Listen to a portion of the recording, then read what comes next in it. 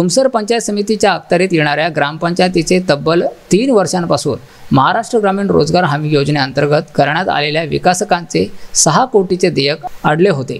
या संदर्भात news fifteen Marathi वाहिनीने चार दिवसा अगोदर वाहिनीवर बातमी प्रकाशित केली.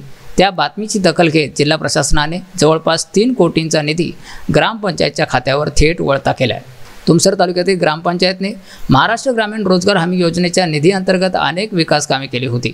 मात्र त्या कामांना निधी तीन वर्ष लोटल्यानंतरही वितरण न केल्याने ग्रामपंचायतचा विकास आराखडा अक्षरशः कोलमडला होता.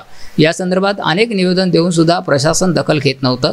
या गंभीर समस्येची दखल न्यूज फिफ्टीन मराठीने घेऊन बातमी प्रकाशित करताच दुसऱ्या दिवशी प्रशासनाने निधी ग्रामपंचायतच्या खात्यावर वळवता केला. विकास कामाचा अर्धा निधी मिळाला असून येत्या चार ते पाच दिवसात उर्वरित निधी मिळण्याची दाट शक्यता आहे. न्यूज फिफ्टीन मराठीसाठी राहुल भवसागर तुमसर भंडारा.